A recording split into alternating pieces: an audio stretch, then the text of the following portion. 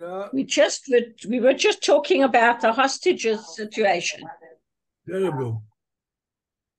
I wouldn't like to be the person to make a decision. No, This is, this is a terrible, terrible thing. I, in one when one way there is there is a, a law for pidyon shvuim that the people that uh, Wait yet. the Gemara says, and so the Rambam, that people must not be, how do you say, um, Intimidated. yeah, n- not only intimidated, but In, in No, the no. Sarsen. no, no, not to use the uh, to to give in, in order to, of course, redeem shvuim, redeem those that were in prison is a big mitzvah. But the question is, how far must you capitulate to the demands of the people that say we want there used to be, I mean, Shvuim, of course, wasn't the way that we see today, but wherever were Jews, always were situation that would help a Jew in order to get money.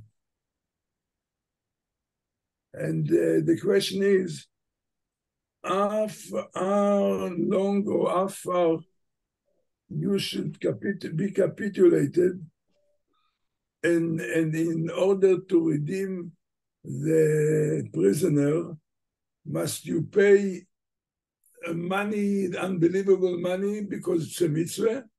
Or you must also think if you are not encouraging people to do that, to uh, help Jews, because you know you'll get a lot of money.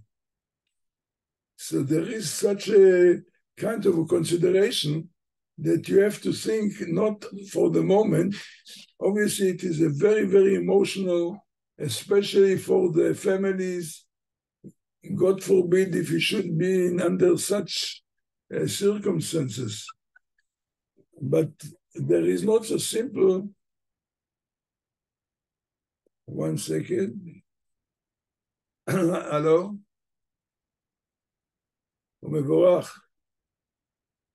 אני עכשיו מתחיל זום. לא, לא, שמונה וחצי. איפה אתה בבית? אתה בבית תהיה בלילה?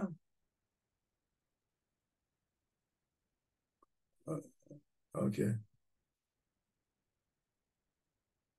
So, it is a terrible, terrible dilemma, and therefore I said, you have, on one end, there is a lot of emotion involved, especially the families, and they're putting a lot of pressure, obviously, on those that are making the decision. On the other hand, you have to be strong to make the right decision. I would not like to be in that place. It's a terrible situation. It is. It is. Especially the experience showed because there before situation like that that Israel paid uh, with exchange of prisoners and so on, with the were promises. You cannot trust this cholera.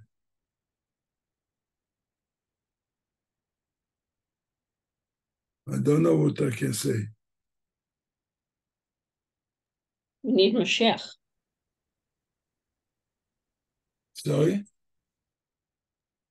We need Mashiach. Mashiach, yeah, we need Mashiach. Yeah. Did you speak to Lawrence? I said to Lawrence, we're waiting for Mashiach. He says his philosophy is Mashiach came, he had one look and he ran away. Yeah.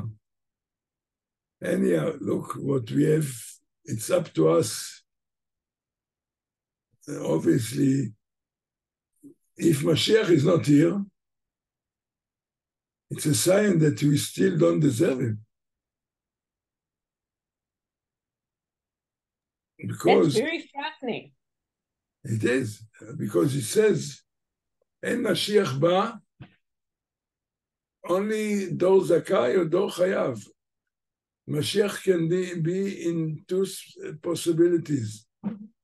Either when the generation will be so high, they deserve the, the credits, or Mashiach comes when things are so bad that there is a danger that the nation is going to be wiped off, then Mashiach also would appear. Obviously, we don't want to be in a situation that Mashiach should come when we be in such a danger that Israel is going to be wiped off. So we must only improve our our, our uh, situation to deserve him that he should come. What can I say? That's a, a terrible, terrible situation. Okay, in the meantime, we have to learn, and obviously, every everything that we do, a good thing, if we learn, we daven, whatever, should be to the credit of those who were kidnapped, that they should be released.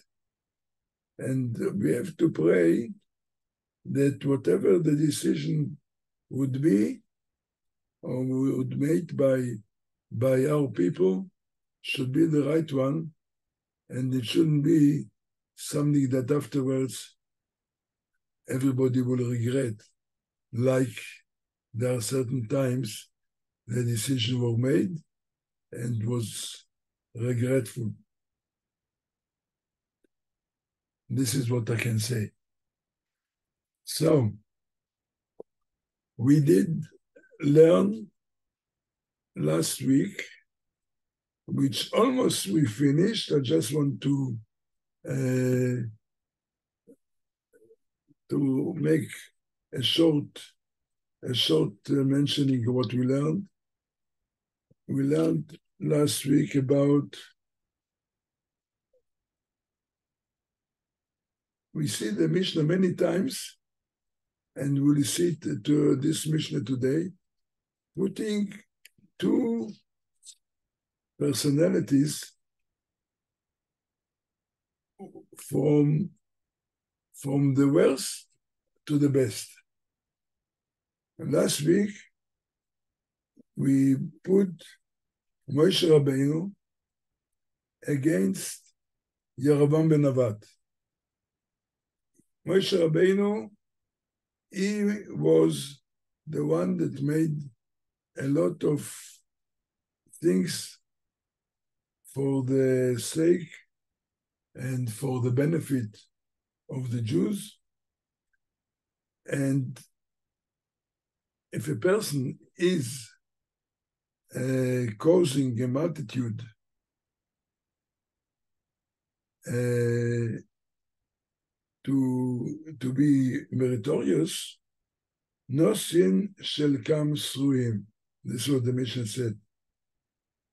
And this is Moshe Rabbeinu. On the other hand, the other opposite, if somebody brings a multitude to sin, will not be given the means to achieve repentance. And this was Yerovam ben Nevat, that he not only himself a sinner or sinned, but he caused others to sin. And this is, as I said, the way how the Mishnah puts two examples of people, one extreme good, one extreme bad.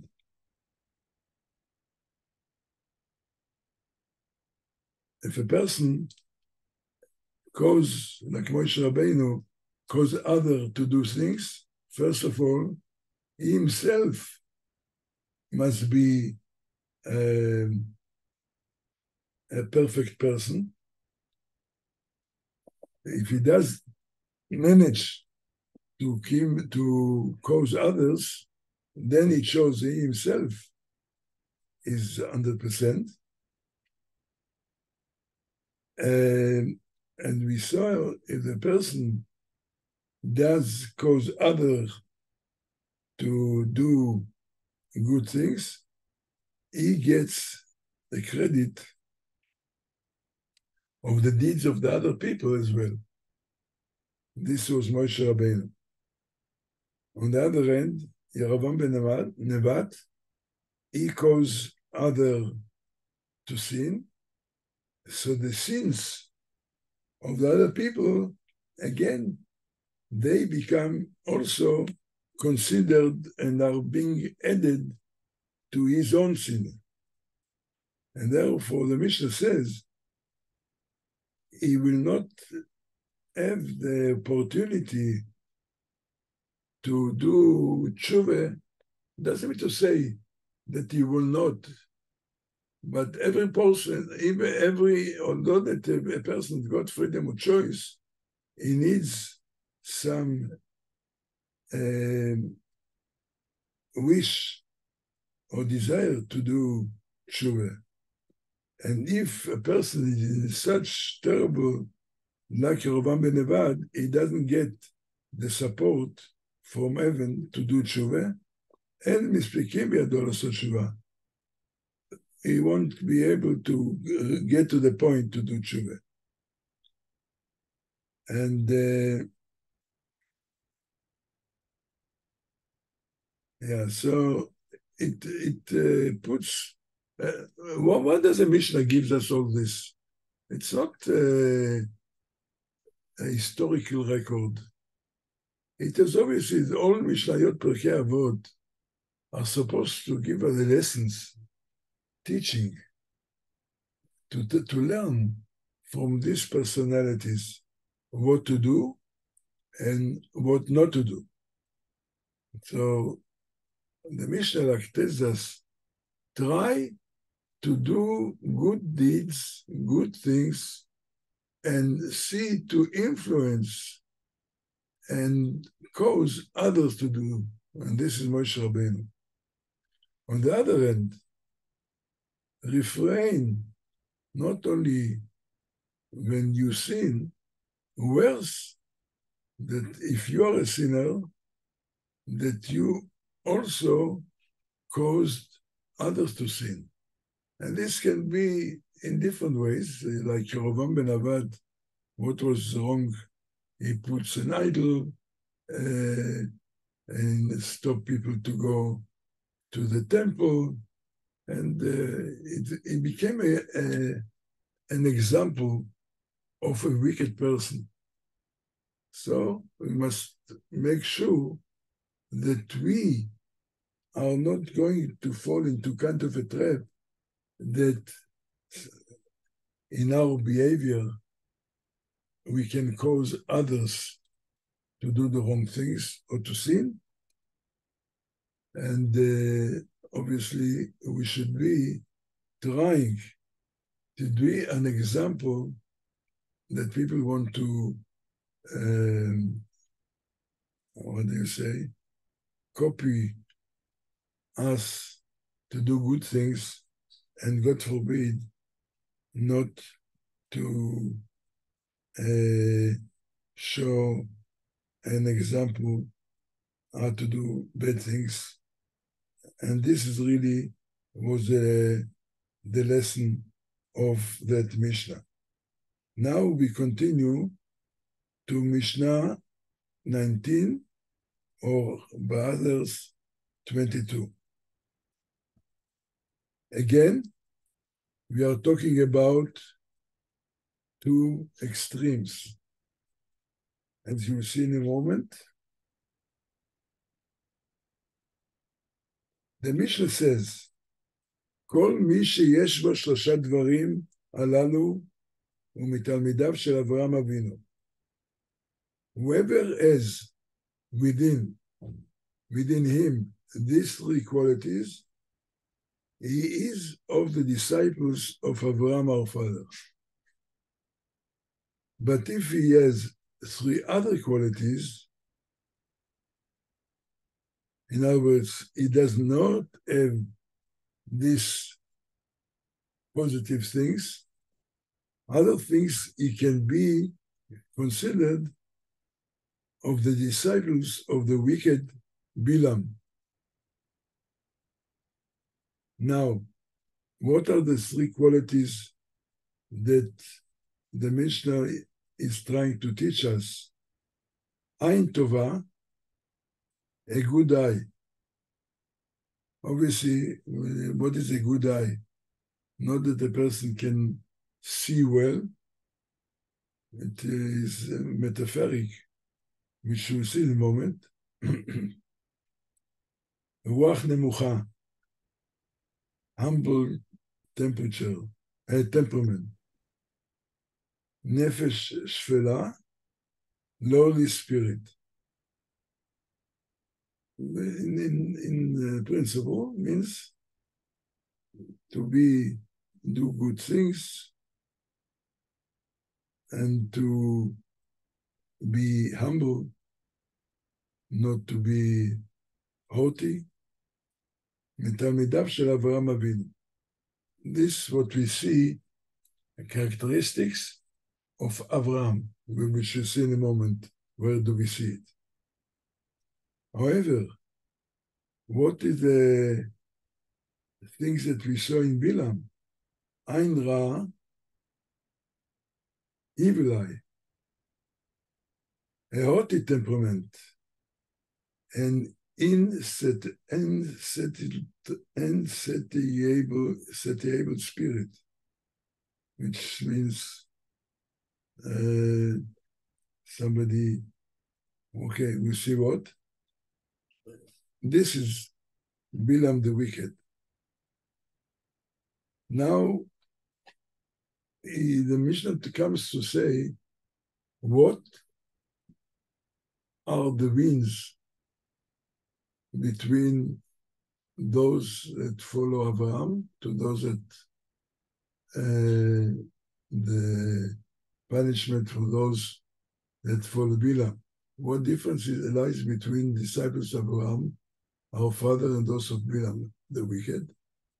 The disciples of Abraham eat or enjoy the fruit of their virtue in this world and inherit the world to come. For it is stated, there is inheritance enough to bestow upon my friends, and their treasuries will I fill. So, in other words, it should be a reward for following the ways of Abraham, getting a reward in this world and in the world to come. אבל תלמידיו של בלעם הרשע, the disciples of Bilam, the wicked, inherit Gehinom. Purgatory. And descend, descend into the pit of destruction. For it is stated, uh, and you, God, will bring them down into the pit of destruction. Men of blood and deceit shall not live out after days, but I will trust in you. I will trust in you. So, what are these uh, good qualities and where do we see it in Abraham? So, we said the first was Ein Tova. What is Ein Tova? A person is God, is generous, he does like to do good, he can forgive others. He encouraged others to do good. Ein Tova. As it says, just a minute, and it says,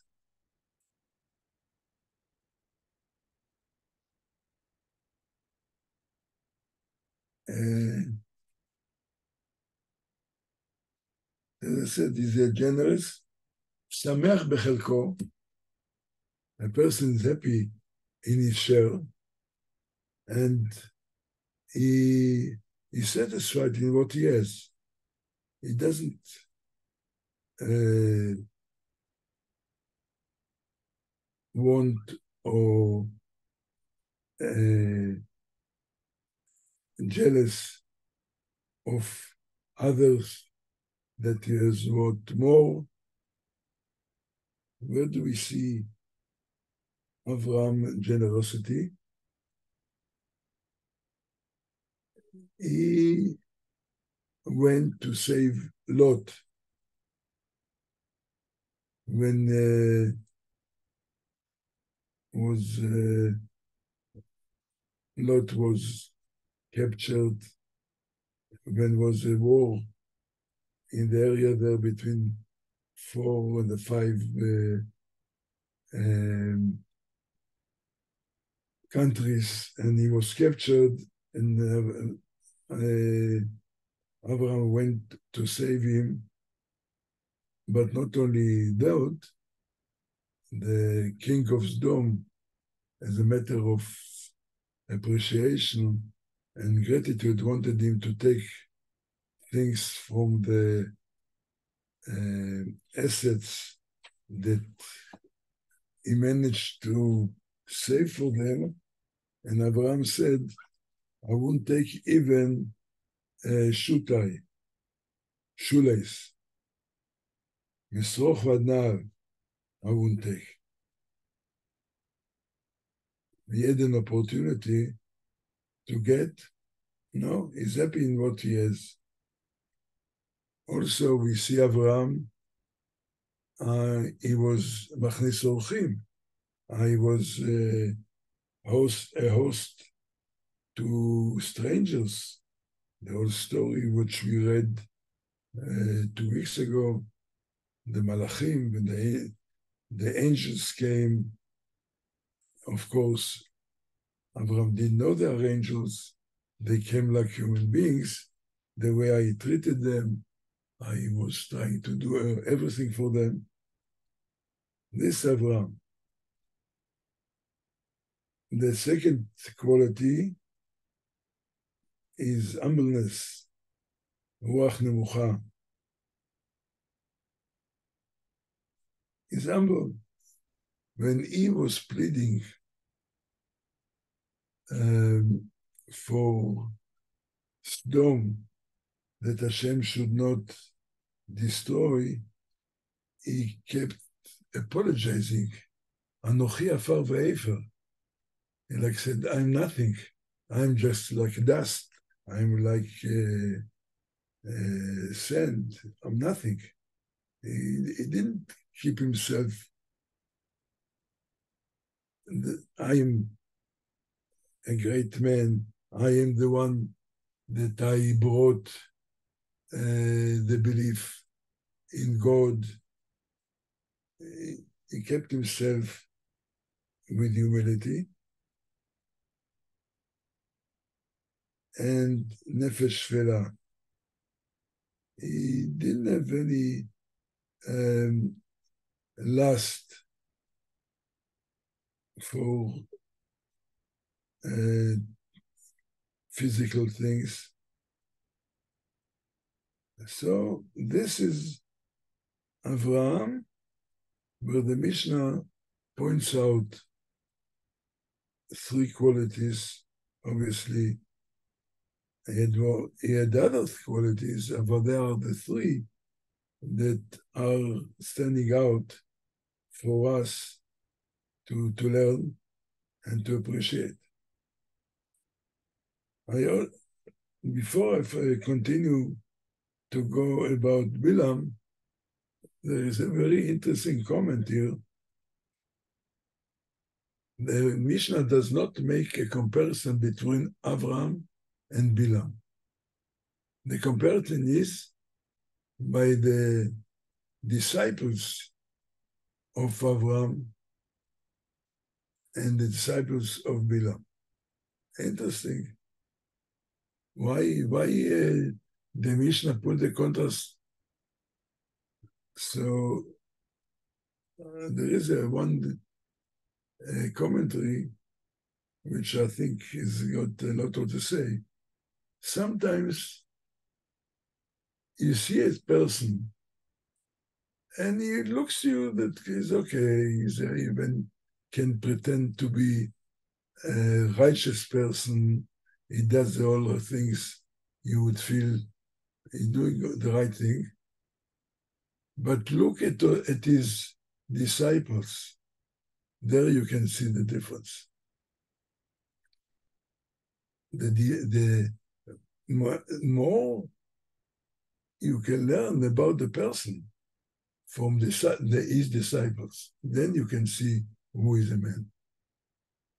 And sometimes you can say, uh, maybe you can see from children to learn about the parents. I'm not saying that always it works, because sometimes you can have a good and righteous parents, and for some reason, a child just turn away completely different to them. But most of the cases, a good a teacher will produce enough if the person himself is good, his disciples also will be good, will be good, and vice versa when it comes to Bilam and his disciples. Bilam himself, and here we, he actually was a prophet. And Hashem gave him the power of prophecy. Why? The Gemara says that in order that the Gentiles would not say to God, What do you want from us? We didn't have somebody to teach us, somebody, a prophet, like the Jews had. So Hashem gave them their leader. Had the power of prophecy. So he wasn't just a simple person, but he was a corrupted person. person. And this is what the Mishnah points out. Ein Ra. Ein Ra is not a good, he's not a nice, he's got a bad eye, a bad character. He um, not happy with with with, uh, with what he has. He actually like to see that other what others have. He can't he can't forgive. He can't see that they should be, and therefore he came to curse the Jewish people. Eh, eh, but if you are a good man, why are you going eh, to curse anybody? He is, uh, he was very haughty, ruach gvoa, he was Balgaive. When Balak sent for him to uh, come and, and curse the Jewish people, he, he gave a, he hinted that they are not, the delegation are not high enough or important enough to get him. He needed to have a delegation of more importance. This was, it was a, a Balgaive. Nefesh Rechava.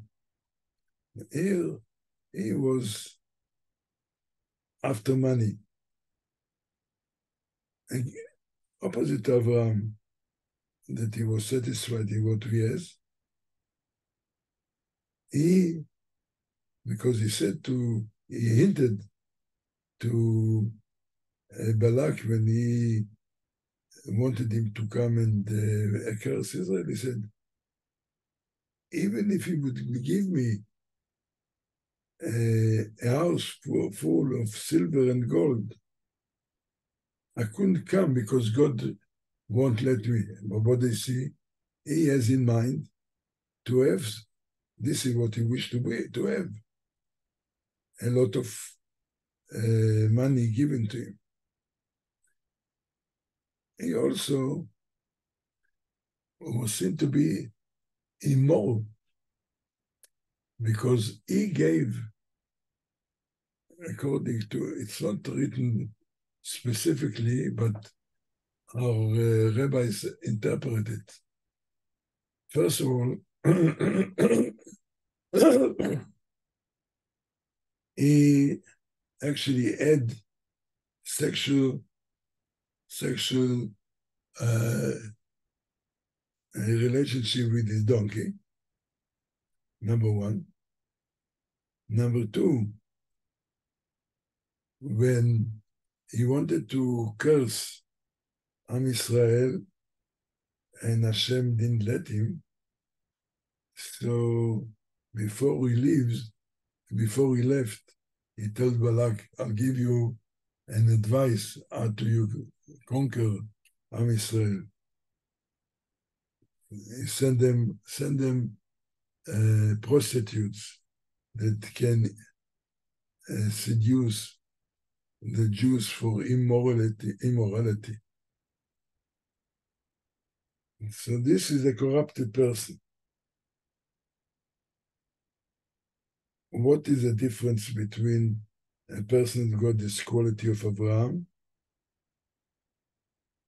The a person a person that is happy what we have there is happy, is joyful. If a person got the bad uh, qualities, then if not happy, he's not happy because whatever he saw that he hasn't got another has is uh, miserable. And therefore, it says, Lo. They don't have a full life. They die, Bilam, according to Chazal, he died when he was 33. In other words, less than, than, than is usually uh, time for uh, men to live is 70. He died when he was 33.